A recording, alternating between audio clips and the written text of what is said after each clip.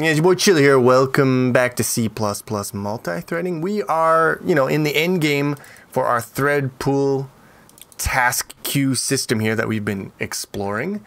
Uh, I got a couple more quick, easy videos. Going to be interesting stuff here, a little light work before we wrap it up and move on to boost.asio.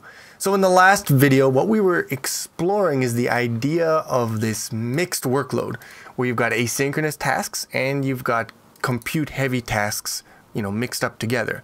And the way that we solved it was by, you know, splitting them up into their own thread pools and having tasks break off any compute work into a subtask that goes on that pool there. Now, in order to implement that, we needed a way for these tasks to submit subtasks. So they have to be able to get access to what I call the exec, which is just something that lumps together an async pool and a compute pool together. Uh, so I did it with singletons, and that's fine, but that means that everything is now tied to the one singleton. You don't have any flexibility to create, you know, separate execs for separate situations. So it's not the best. How can we make it so that it's not a singleton? Well, one basic way to do it is just to arrange our system so that every task that you pass into async well, it has to take in a reference to the exec. And then the system is going to inject that for all the tasks. And that's fine. Like that works. But it's a little annoying to put that burden of the developer, like the, the person submitting the tasks, to have this specific, you know, signature, or at least to have this part of the signature. Um, so yeah, that would work, but I got something better. And it's going to give me an opportunity to introduce you guys a concept in C++ that I haven't uh, introduced yet. A new keyword for multi-threading. I'm pretty sure I haven't touched this yet. So let's get started by uh, forward declaring struct exec. And we're going to make a little function.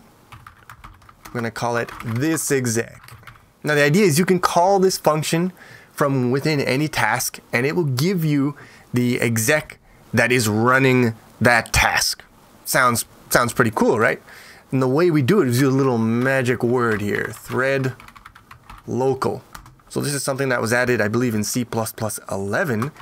And uh, we can declare a p exec, we'll make underscore just to differentiate it, equal to the one that we pass in. Now, the way this works is actually, it's very similar to this, the static exec.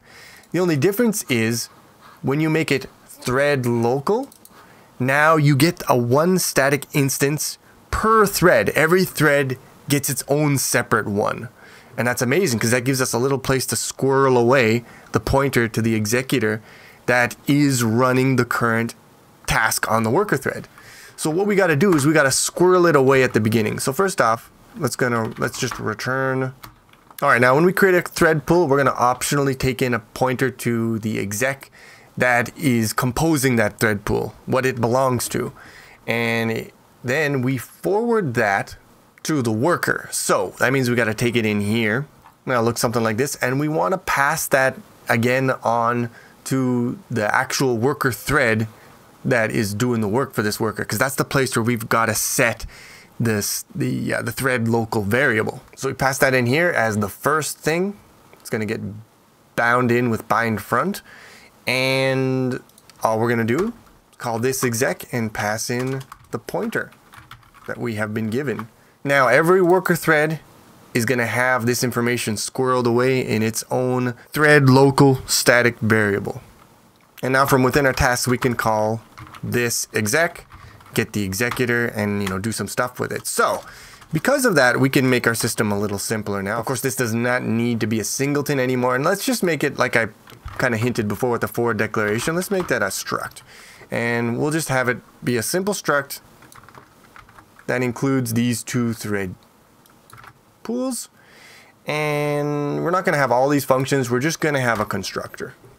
Constructor is going to construct these two pools, passing in the pointer to this exec. Uh, we're going to make the names a little shorter, no underscore because they're not private anymore.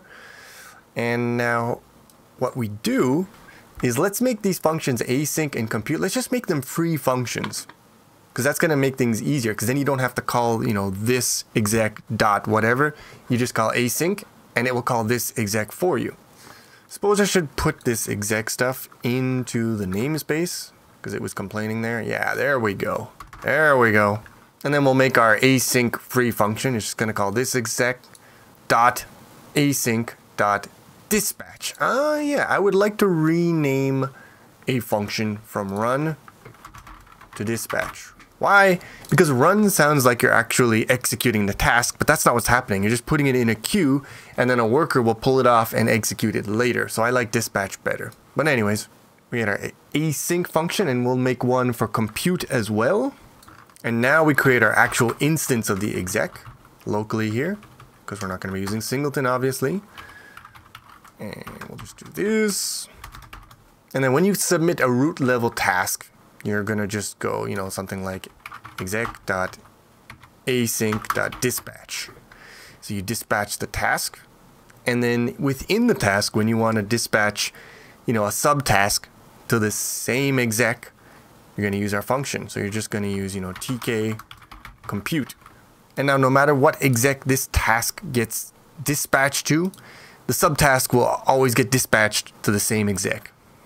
And if we build it, we get build errors, because of course, of course you get build errors. So when we create the thread pool, we're constructing all the workers. We need to pass in, we need to forward this basically to each worker. There you go. And if we run it, hopefully it don't take too long. Yep. All right. Seems to be working fine. So there you go. Look, Ma. No singleton. Because, you know, it's, it's a lot better if, you can not using singleton is better than using singleton. But that's it. It's a little little improvement here, and mostly I just wanted an excuse to, to show off thread local. It's got a lot more uses than what I've shown here. It's a very useful construct, and it's not that difficult to understand or use. Now in the next video, we're going to look at something a little more uh, theoretical. Um, basically, if you tried to take this async task and instead of running it directly, if you tried to dispatch it to the async queue as a subtask, in most cases, that would just deadlock your program. And I don't think it's immediately obvious why that would be the case. But uh, once you think about it, you're like, oh yeah, yeah, that's a problem. And the solution to it is uh, it's interesting. So we're definitely going to take a look at that. Until then, thanks for watching. Hope you enjoyed the video. If you did, please click the like button, helps a lot. And I will see you again with some more C++ multi-threading.